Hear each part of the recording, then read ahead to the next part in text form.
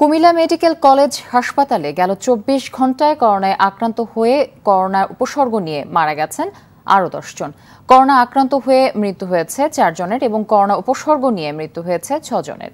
Comilla medical college হাসপাতালের সহকারী পরিচালক ডক্টর সাজেদা এ বিষয়টি নিশ্চিত করেছেন। চট্টগ্রামের সীতাকুণ্ডের সলিমপুর এলাকায় মোহাম্মদ মুসা নামে এক ব্যক্তি করোনা উপসর্গ নিয়ে মারা গেছেন। শরীয়তপুরে নতুন করে ১৩ জনের দেহে করোনা শনাক্ত হয়েছে। এ নিয়ে জেলায় আক্রান্তের সংখ্যা দাঁড়াল দুশো পঁচানব্বই জনে। বরিশালে গেল চব্বিশ ঘন্টায় আক্রান্ত ষাট জন। সর্বমোট করোনা আক্রান্ত হয়েছেন এক হাজার সাতান্ন জন। মোট একশো সাতাত্তর জন সুস্থ হয়ে বাড়ি ফিরেছে।